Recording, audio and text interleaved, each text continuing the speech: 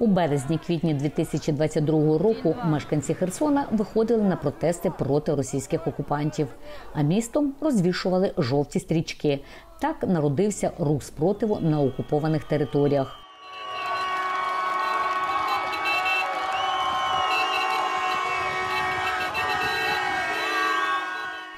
По тому росіяни під страхом розстрілу заборонили херсонцям збиратись гуртом. Проукраїнські активісти перейшли в підпілля. Так чинив і місцевий стендапер Нахмет Ісмаїлов.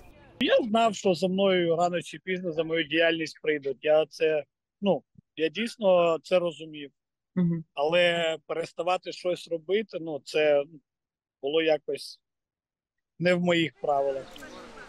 38-річний херсонець каже, що таємно передавав Збройним силам України інформацію про розміщення російських військ у місті та області. Координати відмічав, коли займався волонтерством, допомагав людям з харчами та ліками. Така діяльність, розповідає Нахмет, не віталась в окупантів. Могли забрати на вулиці. Мене особисто забрали з квартири вранці. Вони вломилися, забрали мене і повезли на катування. Згодом Нахмета відпустили. Він каже, що став одним з учасників проукраїнського руху Жовта стрічка, які дочекали звільнення Херсона у листопаді 2022 року.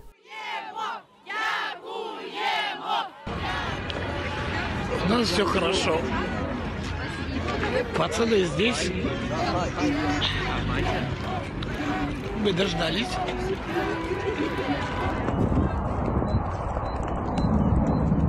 Цей синьо-жовтий прапор встановили у березні цього року неподалік Макіївки на Донеччині. Його розгорнули активісти руху спротиву. Великою ціллю є підтримка людей на окупованих територіях. Е, Ми показуємо те, що вони тут не одні. Е, Тобто жовті плака, е, жовті стрічки, плакати. Все це показує те, що, хоч вони не можуть прямо розповісти про свою позицію, е, все-таки вони не одні. Нині, за словами речниці жовтої стрічки Валерії, учасниками руху є щонайменше 15 тисяч людей. Це сміливці, які залишають в окупації патріотичні надписи та розвішують жовті стрічки. Також це демонстрація іноземним партнерам, що на окупованих територіях є люди, які чекають на Україну, які вірять в повернення додому. І це руйнує пропаганду росіян про те, що всі на окупованих територіях бажають, щоб прийшла Росія, щоб вони тут залишалися. Прибуває поїзд «Жовта стрічка» під номером 192, сполучення 1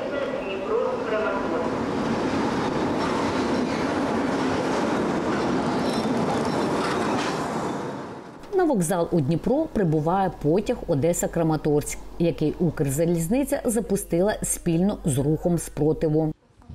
Ось скринька, де кожен пасажир може написати своє побажання в якомусь містечку, селу, ну, в підтримку. Побажання скорішого миру, Листівки будуть у безпечний спосіб поширені через інтернет, аби підтримати морально активістів руху. Одеситка Олена Цекова, пасажирка потяга на перон у Дніпрі, зійшла із символічною стрічкою на вбранні. Ну, щоб показувати людям, що є такий рух, який треба продвигати і розповідати іншим.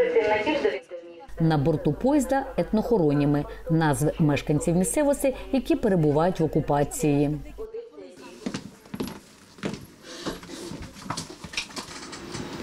Потяг Одеса Краматорськ курсує регулярно. Його маршрут пролягає найближче до тимчасово окупованих територій і зупиняється на 25 станціях. Ярослава Мовчан, Ореспона для Голосу Америки з Дніпра.